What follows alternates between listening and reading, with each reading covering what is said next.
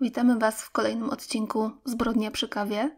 Dzisiaj przeniesiemy się do Polski i to będzie sprawa sprzed 19 lat. Sprawa, która jest bardzo taka zakręcona i skomplikowana. Sprawa, która do dzisiaj nie znalazła swojego rozwiązania. Cały czas pracują nad nią policjanci z Archiwum X. I ja mam taką nadzieję, że kiedyś dowiemy się, co się tak naprawdę wydarzyło, czy osoby, o których dzisiaj będę mówić, żyją, czy w 2002 roku straciły życie. Chodzi o zaginięcie siedmioletniej Kariny Surmacz i jej wujka o pseudonimie Święty. I już chyba ten fakt, że podaję wam pseudonim, powinno was nieco nakierować na świat gangsterski, świat związany z Warszawą, a dokładnie z Mokotowem. I tak jak wspomniałam, przeniesiemy się do roku 2002, a dokładnie do końcówki tego roku, gdzie tak naprawdę wszystko się zaczęło. Ta historia jest porównywana do tej z Leona Zawodowca, bo mamy tutaj siedmioletnią dziewczynkę, Karinę, która jest świadkiem morderstwa jej matki i konkumenta jej matki giną na jej oczach. Swoją rolę ma tutaj również pewien gangster, gangster o gołębim sercu, o pseudonimie Święty, który ratuje Karinie życie. I aby nieco bliżej poznać w ogóle całe otoczenie Kariny, otoczenie, w którym dziewczynka dorastała, to musimy się przenieść do pewnej kamienicy przy ulicy Dąbrowskiego w Warszawie.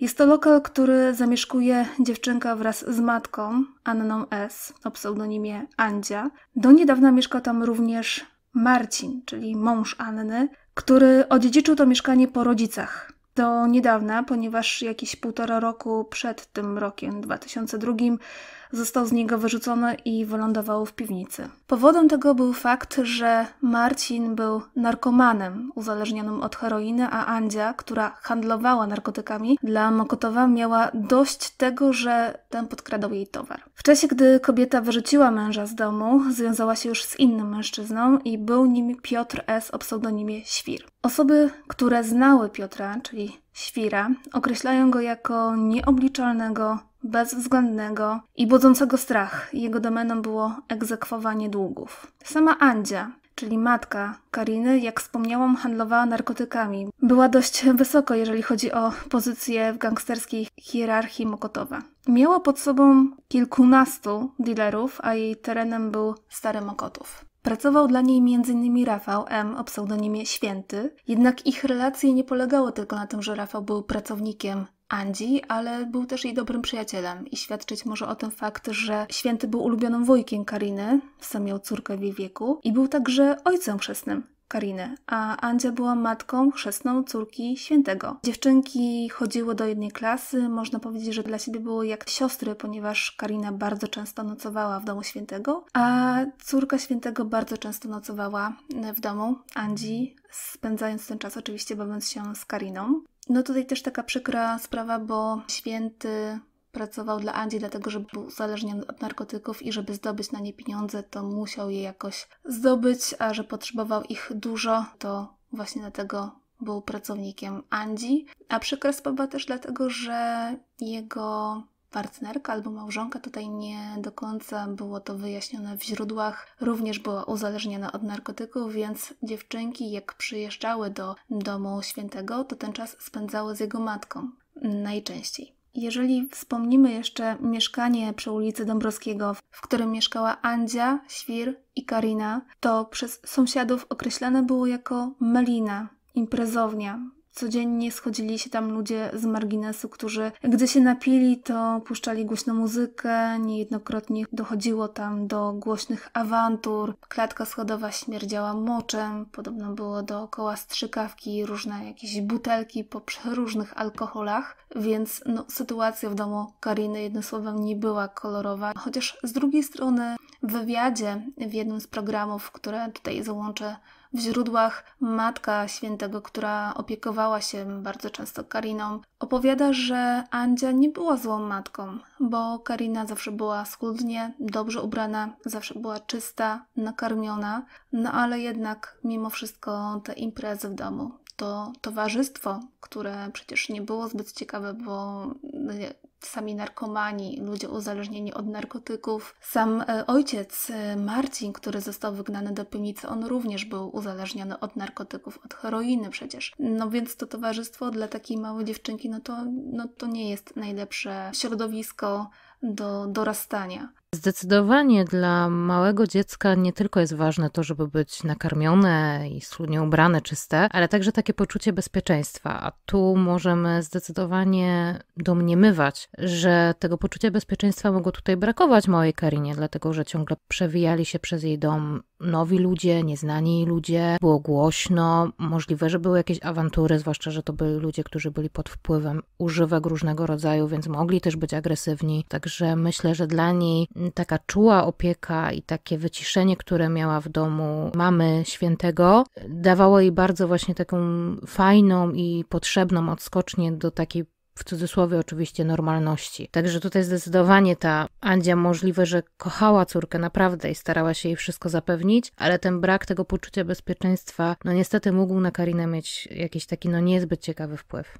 Tak, to, to na pewno w tak młodym wieku pewnie nie jedno widziała, nie jedno słyszała, więc dobrze, że rzeczywiście miała gdzieś tam taką oazę, do której mogła się udać, bo tam nie lądowała tylko na jeden dzień czy na kilka godzin, ale zdarzało się, że spędzała tam kilka dni w tym domu. Karinka też była określana jako Dziewczynka inteligentna, ale bardzo małomówna, zamknięta w sobie i momentami nawet zachowaniem przypominała bardziej dorosłego niż dziecko. No ale to nic dziwnego, bo została bardzo doświadczona i bardzo szybko musiała dorosnąć. I jedna z osób z otoczenia Andzi, Świra i Karinki wspomina, że Świr, czyli konkubent Andzi, nie cierpiał Karinki. Była podobno taka sytuacja, że miał jej dosypać coś do jedzenia czy do picia. Jakiś narkotyk i święty, gdy się o tym dowiedział, postanowił ją zabrać do siebie.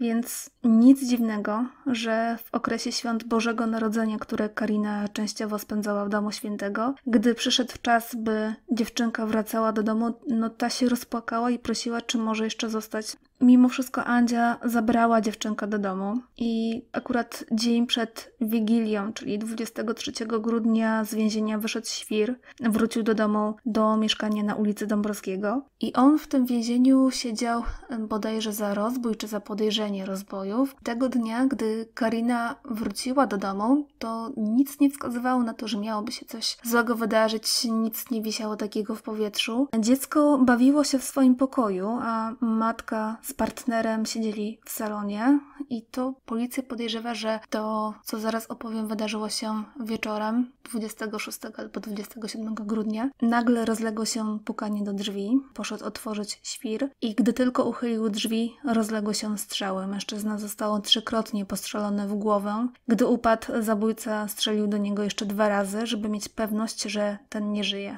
Następnie poszedł do pokoju, w którym była Andzia i do niej oddał też kilka strzałów. Od tego momentu Możemy już tylko opierać się na hipotezach policji, co wydarzyło się dalej. Możliwe, że morderca, gdy miał już pewność, że kobieta nie żyje, że mężczyzna też nie żyje, poszedł dalej w głąb mieszkania, przeszukał pomieszczenia, by mieć pewność, że nie ma więcej świadków i gdy nikogo nie znalazł, po prostu wyszedł z mieszkania. I policja podejrzewa, że Karina, gdy usłyszała pierwsze strzały, schowała się pod łóżkiem albo w szafie i dzięki temu e, morderca jej nie znalazł. Prawdopodobnie też dziecko tę noc i część kolejnego dnia spędziła z ciałami matki i partnera, przypuszczalnie kilkanaście godzin. Z billingów telefonu Andzi wiemy, że dzień po morderstwie zadzwonił do jej mieszkania święty. Na pewno się zdziwił, gdy odebrała Karinka, ponieważ ta podobno była też szkolona przez matkę, żeby nie odbierać telefonu. No ale tutaj na szczęście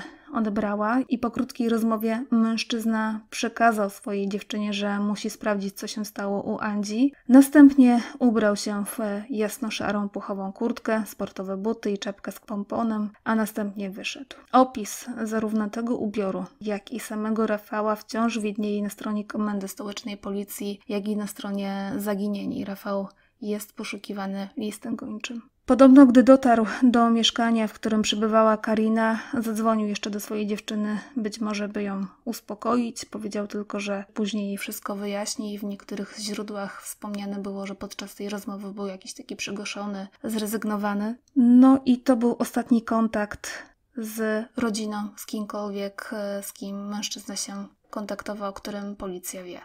Co ciekawe, z billingów wynika, że jeszcze jedno połączenie zostało wykonane z telefonu Andzi i to połączenie było ze znajomym z grupy Mokotów, jednym z gangsterów z tamtej ekipy. Możliwe, że święty prosił kogoś o pomoc, tyle że ta grupa Mokotów była tak hermetyczna, że ten, do którego dzwonił święty, zapewne wiedziała o zleceniu na Andzie i Świra i gdy spotkał się ze świętym i z Kariną, to ich po prostu zabił albo zaprowadził prosto do mordercy opiekunów dziewczynki. No tu pojawiają się kolejne hipotezy snute przez policję, które przez lata były badane przez śledczych. Niestety nie sprawiły one, że sprawa została zamknięta, że wyjaśniono, co się wydarzyło z dziewczynką i co się wydarzyło z jej wujkiem. Jeżeli chodzi o samo morderstwo, to do odkrycia ciał Andzi i Świra doszło dopiero kilka dni po morderstwie, to jest w Sylwestra. A to dlatego, że do Małgorzaty, czyli do siostry Andzi, zadzwoniła znajoma, mówiąc, że w mieszkaniu na Dąbrowskiego od kilku dni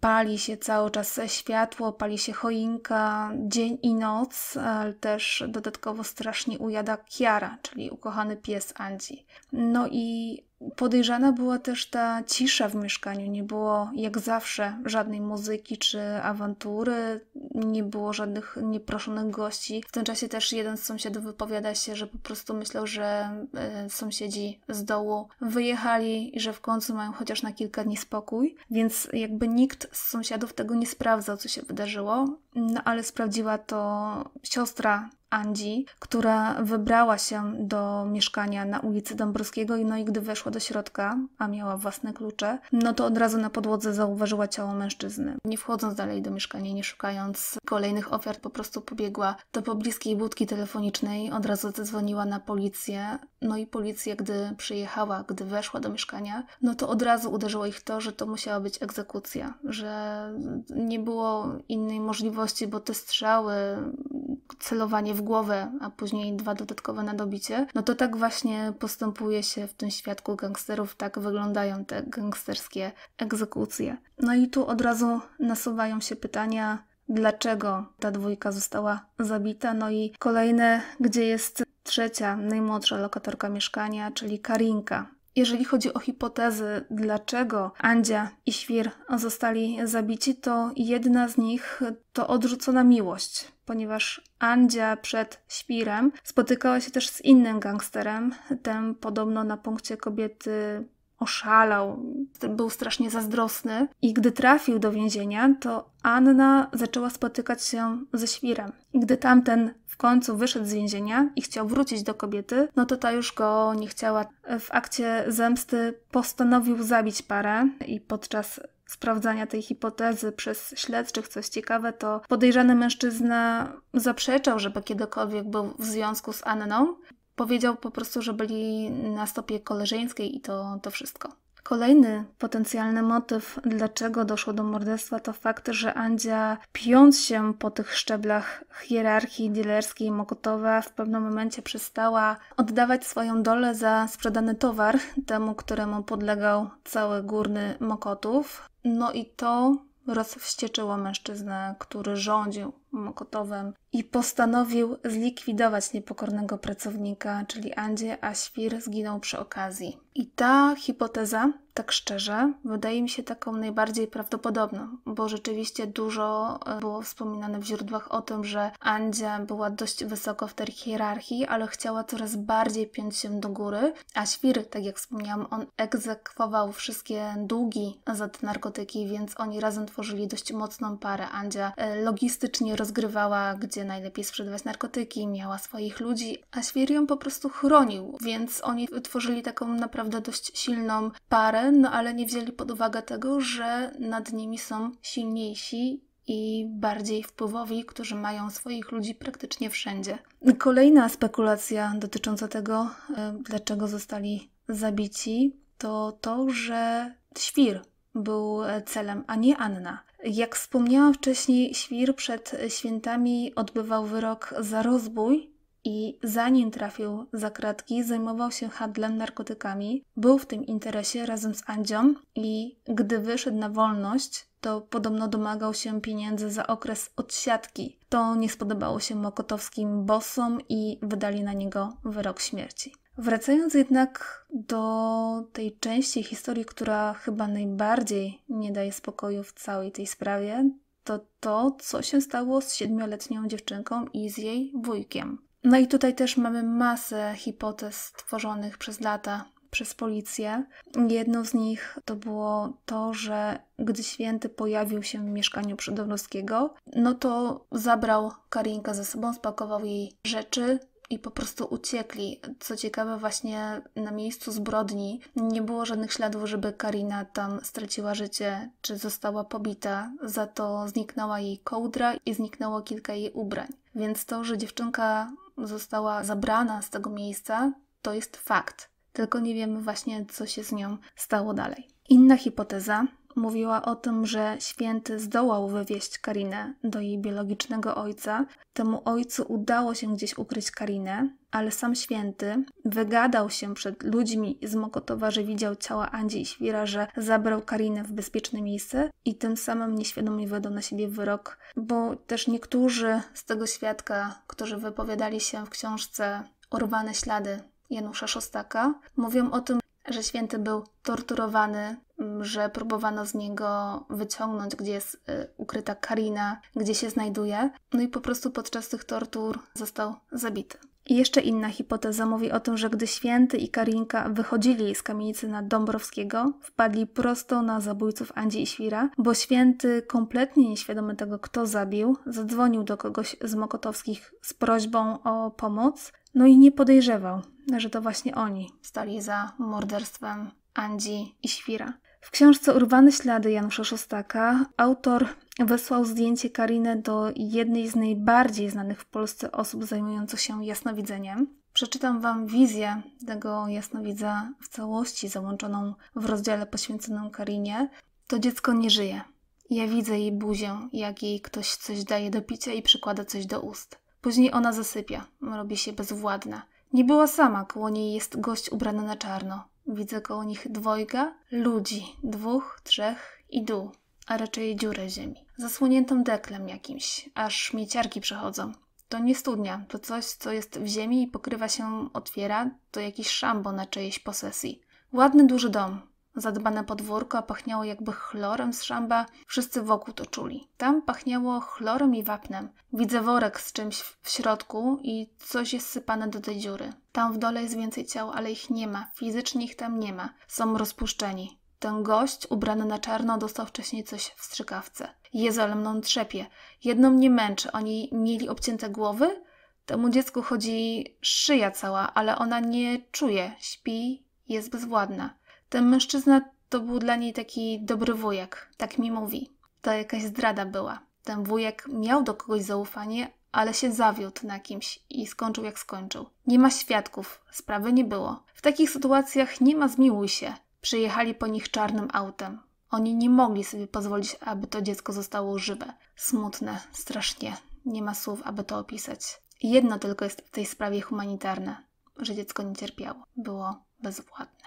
I to jest wizja, która autentycznie sprawia, że miałam gęsią skórkę, bo jest taka, jak wydaje się, że mogła się skończyć ta sprawa. Bo jest tutaj mowa o tym, że święty rzeczywiście do kogoś zadzwonił po pomoc, że był z Kariną cały czas i być może rzeczywiście trafił w ręce ludzi, którzy myślą, że mu pomogą, ale oni musieli się pozbyć tych ostatnich świadków tej sprawy, tego zlecenia. Być może właśnie byli mordercami matki i opiekuna Kariny. I ja się tak zastanawiam, bo była też taka hipoteza właśnie, że święty zabrał Karinę, razem uciekli i gdzieś tam może do dzisiaj funkcjonują razem, ale z drugiej strony święty, który był uzależniony od narkotyków, podobno nie śmierdział groszem. Miał problemy właśnie z pieniędzmi. No i nie ukrywajmy, że on codziennie potrzebował na kolejną dawkę narkotyków i do, w tym wszystkim jeszcze opiekować się dzieckiem, zaplanować ucieczkę, zaplanować jakieś miejsce, gdzie mogliby się ukryć przed gangsterami z Mokotowa, no wydaje się dość nierealne. Ale z drugiej strony podczas badania tej sprawy policja co róż dostawała różne informacje, że byli widziani tu i tu, że chyba są w Hiszpanii, że chyba są w Kanadzie, więc e, tych Tropów było naprawdę dużo do zbadania. Oczywiście wszystkie były badane, sprawdzane przez policję, no ale do dzisiaj nie mamy odpowiedzi na to, czy Karina rzeczywiście żyje, czy przeżyli, czy święty też żyje. Tak na przykład świeżo po zaginięciu do bodajże siostry zamordowanej Andzi ktoś zadzwonił z informacją, że widziano świętego i Karinę koło Uniwersamu na Grochowie, a inna wersja mówiła o tym, że widziano ich w tramwaju. Ktoś widział dziewczynkę niedaleko dworca wileńskiego z mężczyzną, do którego ta zwracała się raz tato, a raz wujku. Święty podobno miał się też zjawić w jednym z krakowskich ośrodków pomocy społecznej. No i tak jak wspomniałam, wszystkie te tropy były badane przez policję, do niczego nie doprowadziły. Aż 30 stycznia 2004 roku prokuratura rejonowa Warszawa-Mokotów umorzyła śledztwo z powodu niewykrycia sprawcy zabójstwa. W tym uzasadnieniu prokuratury stwierdzono: Pilnego ustalania wymagają dalsze losy Kariny. Być może jest przetrzymywana przez sprawcę zabójstwa bądź inne osoby. Być może nie żyje. Niewykluczone, że Rafał Mikołajczyk 27 grudnia spotkał się z Kariną, a ich losy są ze sobą ściśle związane. Na obecnym etapie śledztwa wyczerpano możliwości dowodowe w sprawie. Z tego powodu postępowanie umorzono. Podjęcie takiej decyzji w żaden sposób nie będzie ograniczało dopuszczalności wykonywania dalszych czynności procesowych w sprawie w przypadku ujawnienia nowych istotnych okoliczności. Wówczas śledztwo zostanie podjęte i kontynuowane. Na stronie Fundacji Itaka, gdy wpiszemy Karina Surmacz, pokażą nam się nie tylko dane zaginionej dziewczyny, jak data, kiedy była ostatni raz widziana, jej wzrost, kolor oczu, ale także zdjęcia, które powstały we współpracy z Centrum Laboratorium Kryminalistycznym Policji, gdzie tworzone są portrety osób zaginionych poddane odpowiedniej progresji wiekowej.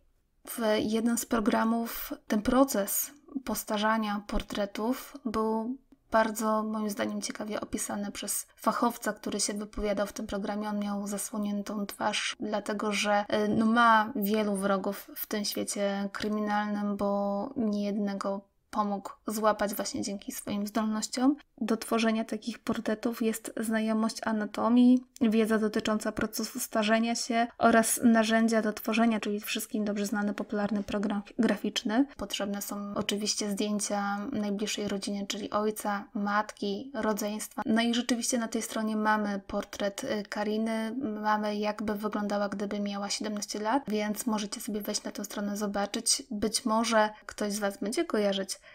dziewczynę, która jest do Kariny podobna, bo no jej historia wciąż jest otwarta, wciąż nie wiadomo, co się wydarzyło. Możliwe, że dziewczyna przeżyła i wciąż funkcjonuje. Była też taka hipoteza, że Karina dostała się do domu publicznego po tym, jak święty został zamordowany, to Karina została oszczędzona ze względu na swój wiek, czyli 7 lat, bo w dniu zaginięcia była naprawdę małą dziewczynką i dostała się do tego domu publicznego, ale tam nie była sprzedana, nie była wykorzystywana seksualnie, tylko była chroniona, była wychowywana. No i kto wie, może gdzieś jeszcze w takim miejscu do tej pory funkcjonuje. Chociaż z drugiej strony mam takie odczucie, że jednak Karina no, była tą małą dziewczynką, ale była dość inteligentna. Ona znała tych wszystkich wujków, chociażby z twarzy, z imienia, no i byłaby bardzo dobrym świadkiem policji, świadkiem bardzo niewygodnym, więc co się z nią stało? No jest to jedna z takich najbardziej dla mnie zagadkowych e, spraw nierozwiązanych. I ja jestem ciekawa, czy kiedykolwiek znajdziemy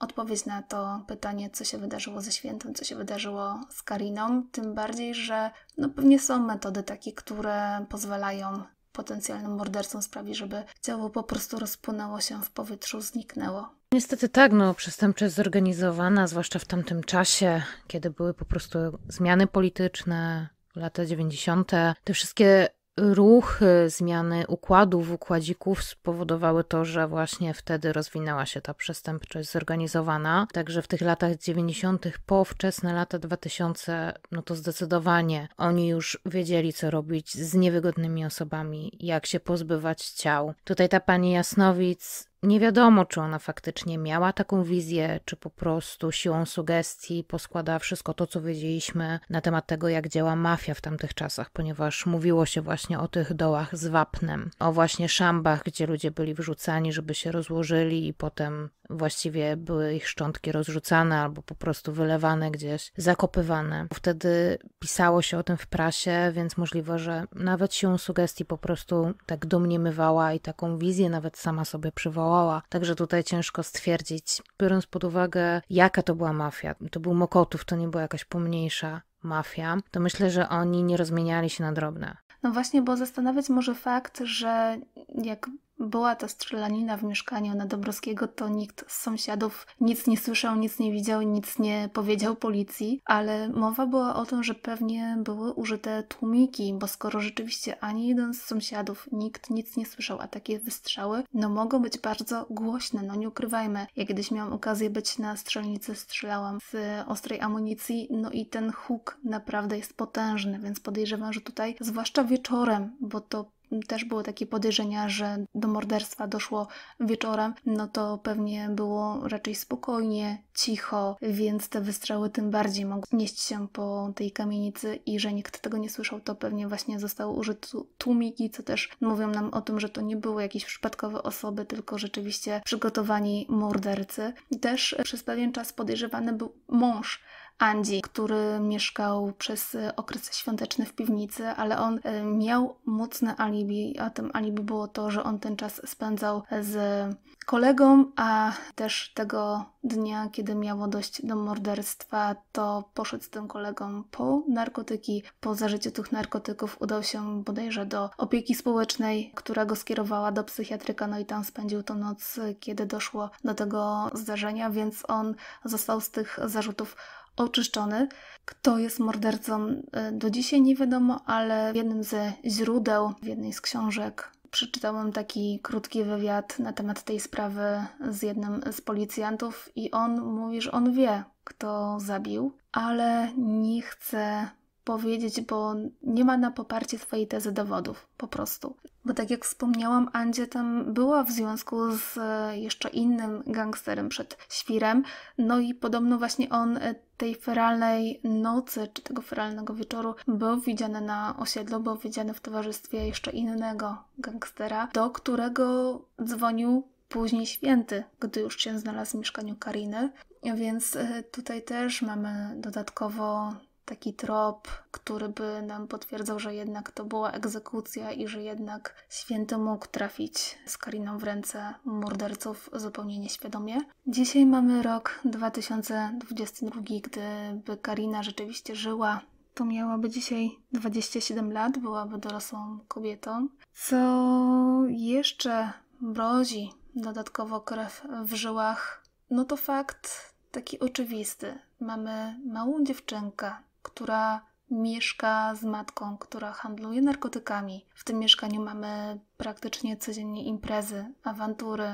Sąsiedzi widzą, że tam zbiera się nieciekawe towarzystwo i nikt z tym nic nie robi. Ta dziewczynka tam funkcjonuje dzień po dniu. Wszyscy wiedzą, co się dzieje, ale wszyscy mają też jednocześnie zamknięte oczy. Nie wiem, czy ze strachu? Pewnie ze strachu. Boją się zgłosić, że dochodzi do takich sytuacji, ale podejrzewam, że policja też musiała wiedzieć, że w tym mieszkaniu nie dzieje się kolorowo, że mieszka tam mała dziewczynka i to też jest chyba przerażające, że no, takie dziecko niewinne wychowywało się w takim środowisku. Więc tak, bardzo smutna historia, bardzo taka kojarząca się na, na, pierwszy rzut oka z Leonem Zawodowcem, bo tutaj rzeczywiście mamy, no jakby wyjęte żywcem z tego filmu morderstwo najbliższych na oczach małego dziecka i gangstera, który ratuje to dziecko. Ja mam taką nadzieję, że ta historia zakończyła się happy endem, że oni gdzieś tam rzeczywiście funkcjonują, kryją się przed tymi, którzy wykonali wyrok,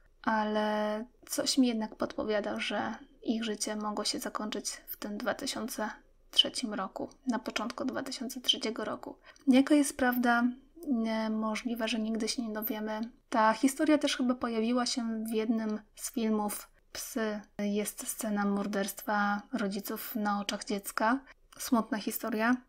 Bardzo, bardzo krótka, bo nie ma na jej temat dużo materiałów. Jeżeli Wy macie jakieś ciekawostki na ten temat albo jakiekolwiek informacje pomocne na ten temat, to wiadomo, gdzie się zgłaszać. To jest albo policja, a jeżeli nie chcecie na policję, to zawsze możecie do nas napisać zbrodnia przy kawie. Tak, zawsze do tego zachęcamy w przypadku spraw, gdzie nie wykryto sprawcy. Oczywiście my mamy nie jakieś oszałamiające zasięgi, ale a nuż któryś z naszych słuchaczy coś sobie może przypomniał. To niestety już od pierwszego odcinka o tym mówimy, że Często właśnie dzieci padają ofiarą tego takiego układu, czyli sąsiedzi się bali, podejrzewam, zgłosić, że coś się dzieje nie tak, bo wiedzieli, co to jest za towarzystwo, wiedzieli, o co tam chodzi. Podejrzewam, że to była taka tajemnica Poliszynera, wszyscy wiedzieli, z kim oni mają do czynienia i że nie warto tam próbować czegokolwiek. To samo mogło być z policją, z opieką społeczną. Wiedzieli, że jeżeli będą się tam wtrącać, to coś ich może spotkać. Niestety w tamtych czasach no zdecydowanie mafia rządziła dużymi ośrodkami miejskimi i miała swoje macki właśnie w policji, w prokuraturze, więc tutaj bardzo było ślisko, jeśli chodzi o takie rzeczy. Nie warto było się wychylać, bo łatwo było nawet stracić życie, albo mogło się coś stać któremuś z naszych bliskich. Też nie wiadomo, co się stało z Andzią i Świrem, bo równie dobrze właśnie to, że byli takim dynamic duo mogło komuś się nie podobać, bo zaczęli być zbyt silni, zbyt może duże zasięgi mieć, więc próbowano może ich trochę utemperować, ale oni czuli się bardzo pewni, no bo jednak, tak jak mówiłaś, stanowili silną parę wspierającą się i wydawało im się, że pełnią na tyle ważne funkcje, że mogą sobie na to pozwolić. No więc zrobiono z nich przykład. Ten mąż jej, który był akurat były mąż, który był w piwnicy, to aż dziwne, że akurat tego dnia postanowił tak tutaj się doprawić w cudzysłowie i akurat wtedy pójść do opieki społecznej, i akurat, żeby mieć idealne wytłumaczenie, że go wtedy nie było. Podejrzewam, że też mógł swoje wiedzieć, co tego dnia może się wydarzyć. Także myślę, że to była zaplanowana egzekucja, tak jak mówisz. Była też hipoteza taka, że być może święty, który przyjechał niby uratować Karinę, tak naprawdę ją porwał i gdzieś zabił, ale dziewczyna była dziewczyna świętego mówi, że nie ma takiej możliwości, bo on kochał dzieci. On sam miał córkę i bardzo o nią dbał i gdyby nie te narkotyki, to naprawdę byłby wzorowym ojcem. Starał się też rzucić ten swój nałóg, ale bardzo ciężko mu to szło i według niej święty nie żyje dlatego tak uważa, ponieważ na Dzień Dziecka nie dostała jego córka żadnej maskotki, żadnego prezentu od swojego ojca, a przecież właśnie tak jak powiedziałam, no święty bardzo kochał dzieci, bardzo kochał swoją córkę. Też była jedna z hipotez, którą przytoczyłam, że on się zwrócił do biologicznego ojca Kariny, no i mowa była o tym, że on, żeby zdobyć pieniądze na nowe paszporty, bo podobno poszukiwał w Warszawie e, osoby, która mogłaby wyrobić lewe paszporty dla trójki osób, czyli dla Kariny, dla Krzysztofa i dla niego. I żeby zdobyć pieniądze na to, to ukradł je Andzi, bo jako, że była jego przyjaciółką, to on na pewno dobrze wiedział, gdzie ta chowa nie tylko towar, ale i pieniądze. I ten Krzysztof, czyli biologiczny ojciec Kariny, też miał jakąś odłożoną gotówkę, no i razem gdzieś tam udało im się wyrobić te paszporty i rzeczywiście uciekli, tak jak wspomniałam, do Kanady albo do Hiszpanii.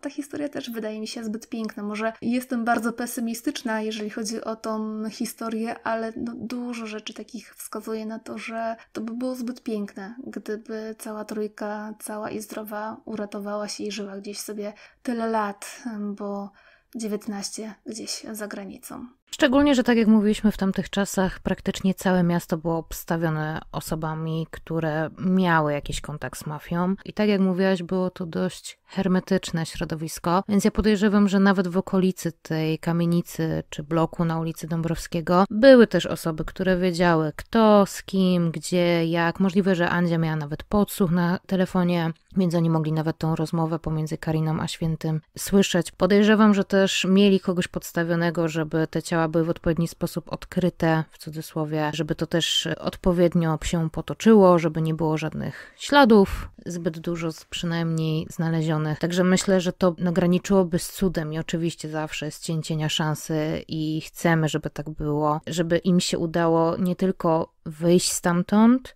ale też gdzieś się przemieścić, jeszcze do tego te lewe papiery zdobyć, ale no niestety wydaje mi się to mało prawdopodobne, żeby udało mu się gdzieś niezauważonym przemieścić się na jakiś dworzec chociażby, czy nawet na samolot, nawet do innego miasta, żeby się szybko przetransportować i stamtąd próbować coś innego. Biorąc pod uwagę, co się wydarzyło, to, to nie było samopas zostawione, że to kompletnie bez opieki te miejsce zbrodni. To jest przerażająca myśl tak naprawdę, bo to dziecko nic nikomu złego nie zrobiło. Całe życie było traumatyzowane przez to środowisko i na koniec prawdopodobnie przez to środowisko straciło życie. Mam nadzieję, że nie, że jakoś jej się udało przetrwać, gdzieś się prześliznąć. Możliwe, że ktoś ją lubił z tej mafii po prostu i gdzieś ją tam przygarnęli, mając ją pod okiem i wychowując pod siebie.